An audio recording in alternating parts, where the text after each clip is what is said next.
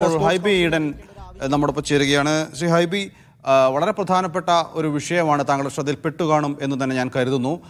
രാവിലെ തന്നെ കാസർഗോഡ് നിന്നും തിരുവനന്തപുരത്തും അടക്കമുള്ള കുട്ടികൾ കേരള ബ്ലാസ്റ്റേഴ്സിന്റെ ട്രയൽസിനായി കൊച്ചിയിലെ പനമ്പള്ളി നഗർ സ്കൂളിൽ എത്തുന്നു. പക്ഷേ അവിടെ ഗേറ്റ് പൂട്ടിയിട്ട അവസ്ഥയാണ് ഉണ്ടായിരുന്നത്. അതിന് പിന്നിൽ എം എൽ എ ആണെന്ന് പറയുകയും ചെയ്യുന്നു. എം എൽ എയോട് ചോ അന്വേഷിച്ചപ്പോൾ അദ്ദേഹം പറയുന്നത് താനല്ല അത് പൂട്ടിയത്. പക്ഷേ സ്പോർട്സ് കൗൺസിലിന് മാസങ്ങളായി വാടക നൽകാനുണ്ടായിരുന്നു. അതുകൊണ്ടാകാം എന്നൊക്കെ അദ്ദേഹം പറഞ്ഞ് ഒഴിയുകയാണ് ചെയ്തത്. പക്ഷേ സ്പോർട്സ് കൗൺസിൽ പ്രസിഡന്റ് പറയുന്നത് തങ്ങൾ അങ്ങനെ യാതൊരു നടപടിയും എടുത്തിട്ടില്ല.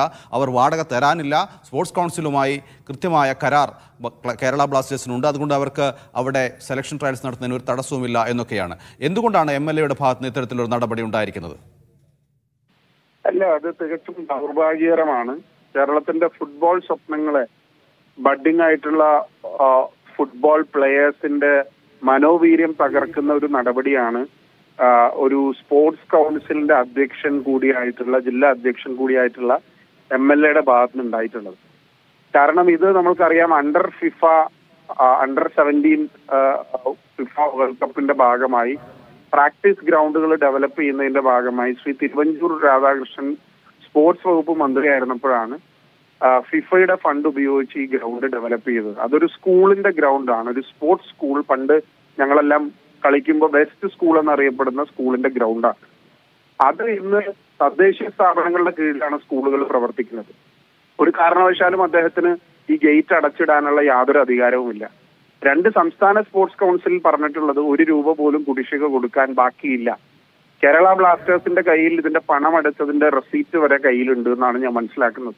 അപ്പൊ ഇങ്ങനെയുള്ള ഒരു സാഹചര്യത്തിൽ കാസർഗോഡ് മുതൽ തിരുവനന്തപുരം വരെയുള്ള ഇന്നലെ രാത്രി വീട്ടിൽ നിന്ന് രക്ഷകർത്താക്കൾ സ്ത്രീകൾ അടക്കമുള്ള ആളുകൾ തന്റെ കുട്ടികളുടെ ഫുട്ബോൾ സ്വപ്നങ്ങൾ യാഥാർത്ഥ്യമാക്കാൻ വേണ്ടി കടന്നു വരുമ്പോൾ ഒരുപാട് പ്രതീക്ഷയോടുകൂടി കടന്നു വരുമ്പോൾ ഈ ഒരു നടപടി ഒരു തികഞ്ഞ ധാർഷ്ട്യത്തിന്റെയും ധിക്കാരത്തിന്റെയും ശബ്ദമാണ് എന്നാണ് ഞങ്ങൾ മനസ്സിലാക്കുന്നത്. അത് ഒരു കാരണവശാലും അംഗീകരിക്കാൻ കഴിയില്ല. ഞാൻ നേരത്തെ പറഞ്ഞതുപോലെ കേരളത്തിന്റെ ഫുട്ബോൾ സ്വപ്നങ്ങളെ ബഡ്ഡിംഗ് ആയിട്ടുള്ള ഫുട്ബോൾ പ്ലെയേഴ്സിന്റെ മനോവീര്യം പരിപൂർണമായി തകർക്കുന്ന ഒരു നടപടിയാണ്. അതൊരു കാരണവശാലും അംഗീകരിക്കാൻ സാധിക്കില്ല. എം എൽ എ പറയുന്നത് താനല്ല ഗേറ്റ് പൂട്ടിയത് എന്നുള്ളതാണ്. അല്ല ഞങ്ങൾ കണ്ട മാധ്യമങ്ങളിൽ ഞങ്ങൾ കണ്ട വാർത്തകൾ അദ്ദേഹത്തിന്റെ നേതൃത്വത്തിലാണ് ഇത് പൂട്ടിയത് എന്നുള്ളതാണ്. അദ്ദേഹം അത് പൂട്ടിയിട്ടില്ല എങ്കിൽ അത് അദ്ദേഹം കൃത്യമായി വ്യക്തമാക്കണം. അദ്ദേഹം പൂട്ടി എന്നുള്ളതാണ് മാധ്യമങ്ങളിൽ വരുന്ന വാർത്തകൾ. അദ്ദേഹമാണ് പണം നൽകണം എന്ന് ആവശ്യപ്പെട്ടിട്ടുള്ളത്. ഞാൻ നേരത്തെ പറഞ്ഞതുപോലെ ഒരു എം എൽ എ എന്നുള്ള രീതിയിൽ ഒരു ജനപ്രതിനിധി എന്നുള്ള രീതിയിൽ ഈ പ്രശ്നം ഇടപെട്ട് പരിഹരിക്കേണ്ട ഉത്തരവാദിത്തമാണ് അദ്ദേഹത്തിനുള്ളത്. പണം നൽകിയിട്ടില്ല എങ്കിൽ അദ്ദേഹം സ്പോർട്സ് കൗൺസിലിന്റെ അധ്യക്ഷനായിരിക്കുന്ന സമയത്ത് തന്നെ അതിന്റെ വേണ്ട നടപടിക്രമങ്ങൾ നടത്തണമായിരുന്നു. ഈ കുട്ടികൾ വന്നതിന് ശേഷം അവരെ ഗേറ്റിന്റെ വെളിയിൽ നിർത്തുന്നത് ഒരു ജനാധിപത്യ രാജ്യത്ത് ഒരിക്കലും അംഗീകരിക്കാൻ പറ്റാത്ത ഒന്നാണ്. അത് മാത്രമല്ല ഈ ഗ്രൗണ്ട് ഡെവലപ്പ് ചെയ്തിട്ടുള്ളത് കുട്ടികൾക്ക് കളിക്കാൻ വേണ്ടിയിട്ടാണ്. അതിന് വേണ്ടുന്ന മാനദണ്ഡങ്ങൾ സ്വീകരിച്ച് അതിന് വേണ്ടുന്ന നടപടിക്രമങ്ങൾ പൂർത്തീകരിക്കുക എന്നുള്ളത് മറ്റ് കാര്യങ്ങളിൽ ഒരു ജനപ്രതിനിധിക്ക് സ്പോർട്സ് കൗൺസിലിന്റെ പ്രസിഡന്റിന് ഇടപെടേണ്ട ഒരു ആവശ്യമില്ല. ഈ പനമ്പള്ളി നഗർ സ്പോർട്സ് അക്കാദമിയുടെ ഗ്രൗണ്ട് എന്നുള്ള നിലക്കാണല്ലോ ഇത് അറിയപ്പെടുന്നത്. അങ്ങനെ ഈ പനമ്പള്ളി നഗർ സ്പോർട്സ് അക്കാദമി എന്ന് പറയുന്നത് സ്പോർട്സ് കൗൺസിലുമായി എങ്ങനെയാണ് അത് റിലേറ്റ് ചെയ്യപ്പെടുന്നത്? അല്ല സ്പോർട്സ് കൗൺസിലിന്റെ മായിട്ട് അതിനൊരു എഗ്രിമെന്റ് ഉണ്ട്.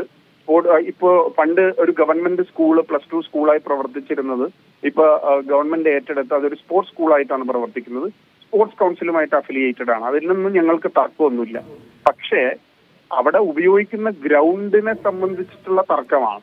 അത് കേരള ബ്ലാസ്റ്റേഴ്സിന് ഇവർ തന്നെ സ്പോർട്സ് കൗൺസിൽ തന്നെ നൽകിയിട്ടുള്ളതാണ്.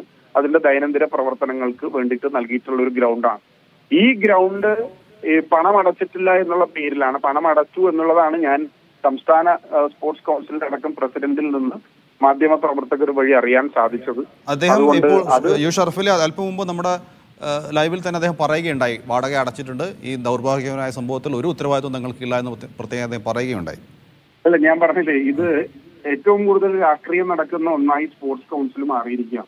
സ്പോർട്സ് കൗൺസിലിന് സത്യം പറഞ്ഞാൽ ഈ രാഷ്ട്രീയക്കാരെ ഇടപെടേണ്ട ഒരു കാര്യമില്ല. അത് കായിക മേഖലയുമായി ബന്ധപ്പെട്ടിട്ട് ആളുകൾ അതിന്റെ ഭാഗവാഹികളായിട്ട് വരട്ടെ.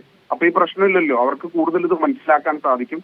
അദ്ദേഹം ജനപ്രതിനിധി എന്നുള്ള രീതിയിൽ ബ്രഹ്മപുരം അടക്കമുള്ള ഒരുപാട് സങ്കീർണമായ വിഷയങ്ങളിൽ അദ്ദേഹത്തിന് ഇടപെടേണ്ട സാഹചര്യമുണ്ട്. അതൊക്കെ പരിഹരിക്കട്ടെ ആദ്യം. അല്ലാതെ സ്പോർട്സ് കൗൺസിലൊക്കെ വേറെ ആളുകൾ വരട്ടെ. യെസ് വളരെയധികം നന്ദി ശ്രീ ഹൈബിയുടെ